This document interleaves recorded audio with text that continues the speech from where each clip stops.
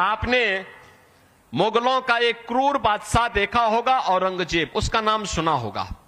और कोई मुसलमानों में भी सभ्य मुसलमान परिवार अपने पुत्र का नाम औरंगज़ेब नहीं रखता। औरंगज़ेब सबसे क्रूर मुगल बादशाह था। औरंगज़ेब ने एक कर लगाया था, उसका नाम है जजिया कर आज कांग्रेस भी अपने मैनिफेस्टो में जजिया कर की बात करती है। ये जजिया कर क्या है? जो उन्होंने विरासत टैक्स की बात की है।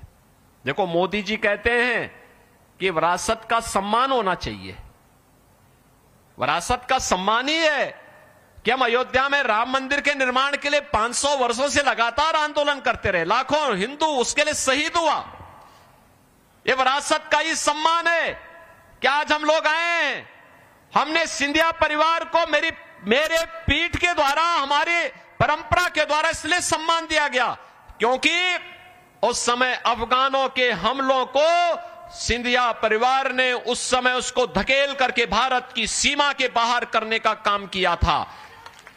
हम सिंधिया परिवार को इसलिए सम्मान दे रहे हैं।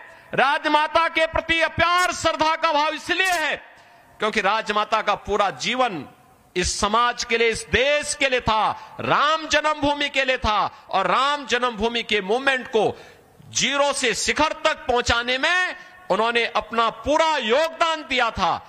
और इसलिए हम श्रद्धा के सम्मान विरासत का ही सम्मान है। यही है विरासत का सम्मान।